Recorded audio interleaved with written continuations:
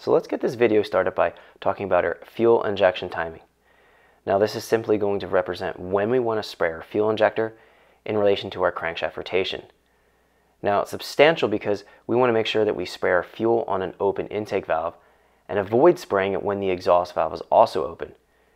If we spray our fuel when we have an open intake valve and the exhaust valve is open during the overlap period, we're going to find that we're going to spray our fuel into our engine and right out of the exhaust. And this is going to cause poor fuel economy and waste fuel. So we want to avoid that situation.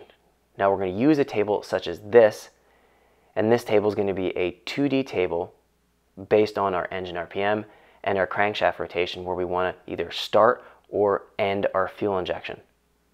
Now, back in EFI Basics, we looked at the different types of fuel injection and we found that there was a batch fire, a semi-sequential, and then finally a sequential style fuel system, fuel injection.